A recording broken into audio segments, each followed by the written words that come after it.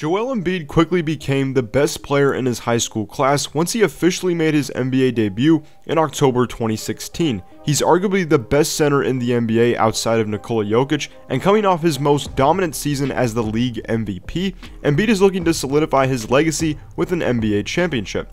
But believe it or not, Embiid was not the top ranked recruit in his high school class back in 2013. He only started playing basketball at 16 years old after coming over from Cameroon and was actually kicked out of his first ever high school practice. But Embiid's natural athleticism and feel for the game quickly skyrocketed his high school ranking. Embiid didn't end up even being top 5 in his high school class, and he missed his entire first two seasons in the NBA, yet he persevered and is now one of the best players in the game today. This is what happened to every high school prospect ranked above Joel Embiid. At number one, we have Andrew Wiggins. After high school, he committed to Kansas and spent one year there. He averaged around 17 points and 5 rebounds with a steal and a block, and pretty much solidified his place as the number one overall pick. And with that, he was drafted first overall by the Cleveland Cavaliers. But only two months in, he was traded to the Minnesota Timberwolves for Kevin Love. He did end up winning Rookie of the Year of the Timberwolves, but he never really played up to what people expected him to in Minnesota. He was always a really good scorer, really solid defender though overall, but really didn't get credit for it.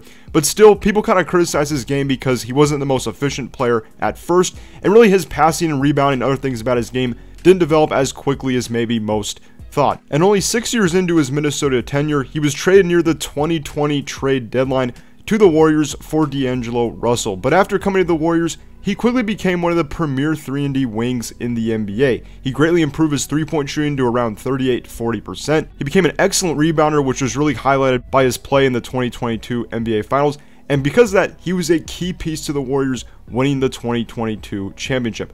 And with his efforts, he was awarded a four-year, $109 million contract in the 2022 offseason. Wiggins is just heading into his prime, and he's pretty much set to be a cornerstone for the Warriors here going forward, especially as Steph, Klay, and Draymond age. Wiggins may not have had the career that you think of with number one overall picks as far as being like a superstar level player, but he still developed into an all-star and was an important piece to a championship team. So unless Wiggins has had a very good NBA career and should continue to be that way throughout his time with the Golden State Warriors and wherever else his NBA journey takes him. At number two, we have Jabari Parker. After high school, he spent one year at Duke and was then drafted second overall by the Bucks in the 2014 draft. His season at Duke was pretty solid, averaged around 19 points and 8 rebounds with about a block and a steal on really solid shooting splits. He carried that over into his first few years in the NBA, but he unfortunately tore his ACL midway through his first year. He bounced back though and had a nice 2016 season and then averaged over 20 points per game in the 2017 season. But unfortunately through that season as well, he also tore his ACL. He had a solid comeback season in 2018, but the Bucks didn't want to keep him and he ended up signing with the Chicago Bulls on a 2-year $40 million deal. But then the Bulls didn't want to keep him and he was traded to the Wizards near the 2019 trade deadline. He played solid with them as well, but then he signed with Atlanta in the 2019 off season. He was then traded to Sacramento midway through the 2020 season and didn't really get much playing time with them over the year that he was with them. He was let go by Sacramento early on in the 2021 season and then signed with Boston. He was with them for a few stints during the 2022 season as well as the 2021 season prior, but he didn't get much playing time with them either. He's kind of been out of the NBA for about the past two to three years, but he was reported to be working out with the Phoenix Suns earlier in the 2023 summer, but then he was going to play with the Milwaukee Bucks Summer League team, but ended up backing out due to a family matter. In Parker's NBA career so far, he's always been a solid scorer, but really the other parts of his game didn't develop and he didn't do much else outside of scoring and rebounding. And because he didn't really improve necessarily in like, you know, playmaking and defense, really not many NBA teams are willing to give him an opportunity. I still think he is an NBA level talent and can have a successful career, but I think at this point in his career, it's about getting the right opportunity. But like I said, I still think he can succeed. He's got a lot of potential, still have a solid NBA career, just a matter of getting in the right situation. But he still had a really solid year in 2017, kind of showed the potential of what he could be next to Giannis as a number two option. And unfortunately, just with injuries and other matters, things really haven't panned out the way most thought for Jabari Parker.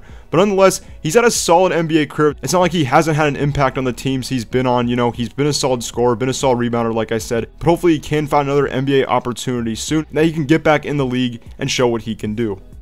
At number three, we have Julius Randle. He spent one year at Kentucky with an absolutely stacked college roster. They were an 8 seed, but he helped lead them to the national championship game. At Kentucky in his one season there, he averaged around 15 points and 10 rebounds and had a really good season overall. After that, he was drafted 7th overall by the Lakers in the 2014 NBA draft. But he broke his leg at the beginning of the 2015 season and basically missed his whole rookie year.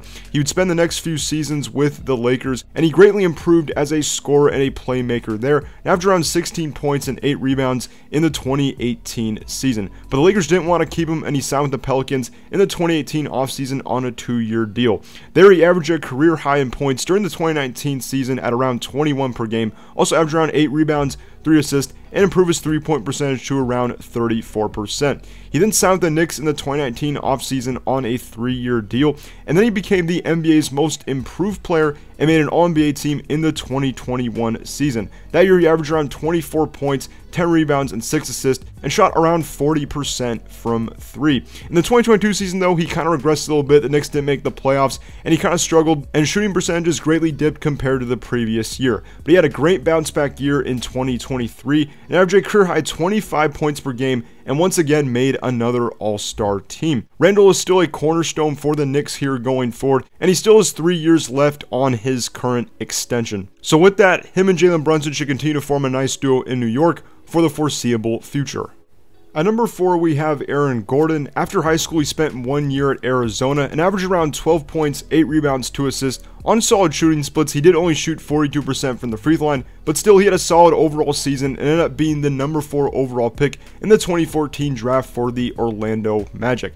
He spent his first six and a half seasons with the Magic and developed into a really nice overall player. Greatly improved his defense, his playmaking, his shooting as well. Overall, just became a really nice player for the Magic. He helped lead them to a few playoff bursts in the 2019 and 2020 seasons. But he was traded to the Nuggets midway through the 2021 season when the Magic decided to go into more of a full rebuild. And he became a crucial piece to the Nuggets trying to contend for a title. And they did end up winning the 2023 championship, and Aaron Gordon was a huge piece to that. Just his defense, his playmaking, his ability to do all the dirty work, that really helped the Nuggets win the championship. And he's the perfect pairing in the front court next to Nikola Jokic there. He should be a crucial piece to the Nuggets for at least the next few years. He's got a couple years left on his current contract, but with the Nuggets financial situation and with the new CBA implications, it's unclear whether he'll be there long term. At least for now, Gordon should be a crucial player to the Nuggets trying to repeat in 2024. But yeah, Aaron Gordon's had a really solid overall career and has developed into a really nice all-round player for the Nuggets.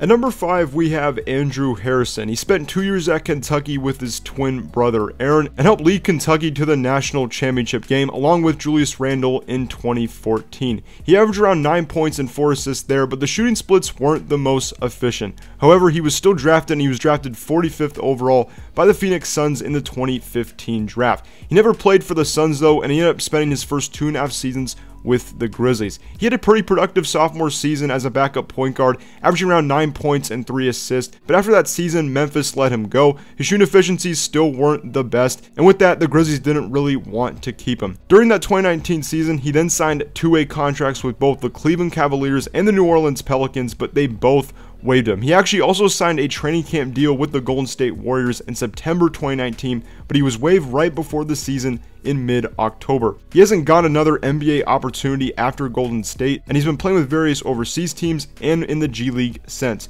He played the Warriors G League team in the 2020 season after they waived him from the main roster, and he had a solid season there as their starting point guard. But after he played in China, then went back to the Windy City Bulls in the G League, but only played four games with them.